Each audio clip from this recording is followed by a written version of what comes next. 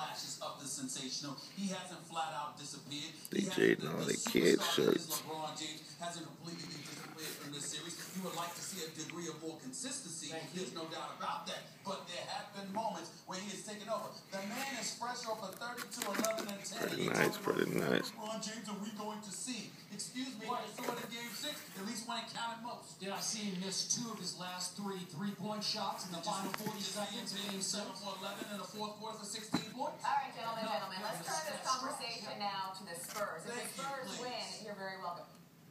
Let's see what we got here. That's the two X.